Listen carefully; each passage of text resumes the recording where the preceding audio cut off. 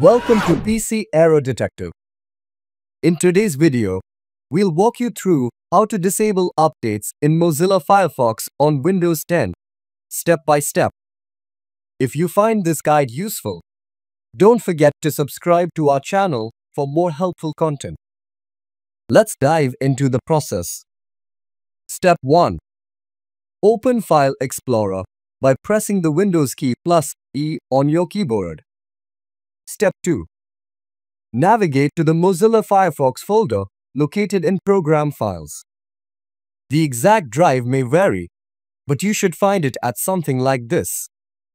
Step 3. In the Mozilla Firefox folder, right-click in an empty space, hover over New, and then select Folder. Create a new folder and name it Distribution. You may need to provide administrator permission to complete this step. Step 4.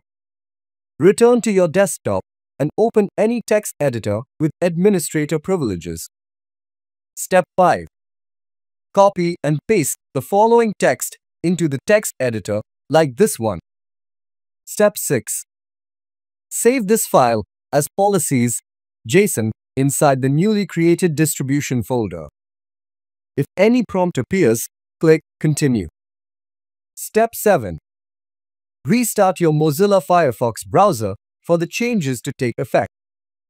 Step 8. To confirm the updates are disabled, open the Firefox again. You should see a message stating that updates are disabled by your system administrator under Firefox Updates. And that's it. Thanks for watching and see you in the next video.